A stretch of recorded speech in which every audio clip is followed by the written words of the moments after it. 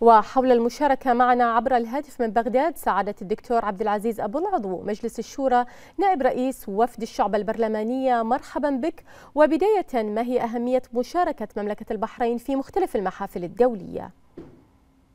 تكمن أهمية مشاركة وفد الشعب البرلمانية في مختلف المحافل البرلمانية في تبادل الخبرات والآراء وتقريب وجهات النظر وعرض التجربة الديمقراطية في مملكة البحرين بما ينعكس إيجابا على مستوى الممارسات التشريعية والديمقراطية وسن التشريعات والقوانين.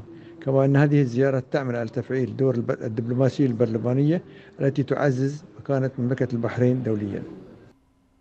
الدكتور عبد العزيز أبل عضو مجلس الشورى ونائب رئيس وفد الشعب البرلمانية. شكرا جزيلا لك.